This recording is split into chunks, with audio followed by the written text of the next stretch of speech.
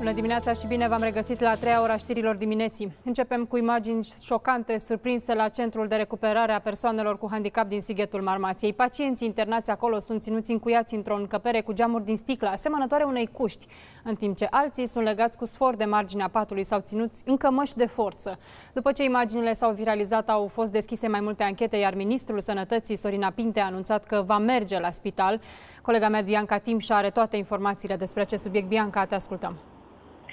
Bună dimineața! Centrul de Resurse Juridice a făcut publică situația dezastroasă a pacienților din Centrul de Recuperare pentru Persoane cu Handicap și la secția de psihiatrie 1 bărbați din cadrul Spitalului Municipal Sighetu Marmației. Opt persoane cu dizabilități erau închise în cinci cuști de aproximativ 2,5 metri înălțime cu urmă metalică. Aceste cuști au fost achiziționate în anul 2015. Alte trei persoane erau legate cu cămăși și fâșii din sârpe. Centrul de Resurse Juridice a solicitat solicitat ca Ministrul Sănătății Sorina Pintea să ajungă la Centrul de Recuperare a Persoanelor cu Handicap din Sighetul Marmației. Ministrul Sănătății a declarat că va merge săptămâna viitoare în control, precizând că verificările erau deja pro- programate fără nicio legătură cu imaginile apărute.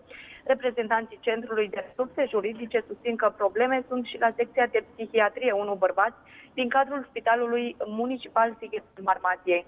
Aceștia spun că la spital sunt condiții insalubre, aglomerare și lipsă de personal specializat.